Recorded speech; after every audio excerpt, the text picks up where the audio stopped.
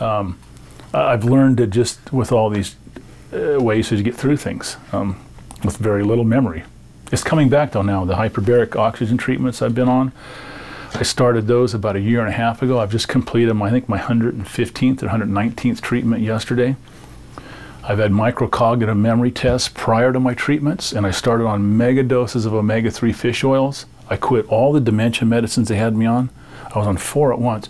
My microcognitive mem memory tests have, have improved 14.3% since I started my treatments and quit all my drugs. And now I'm going back to see Dr. Amen again next week for my fifth follow-up, and I'm hoping to see even more improvement on my memory. Um, my sleep issues, I had major sleep issues, another sign of inflammation in your brain. I, I had gone up to four nights straight without sleeping. You're, you're tired, you're deadbeat tired, but you, you, you, shut your eyes and you just can't shut things off. There's things just firing. Um, you know, anger management issues, another, another sign of, of you know, um, inflammation. Um, I, you know, caused some real damage with my family. Um, trying to repair that and, and, and, getting through those issues. There's a lot of issues that people don't realize that are all tied into this. It impacts your entire who you are and impacts everyone around you.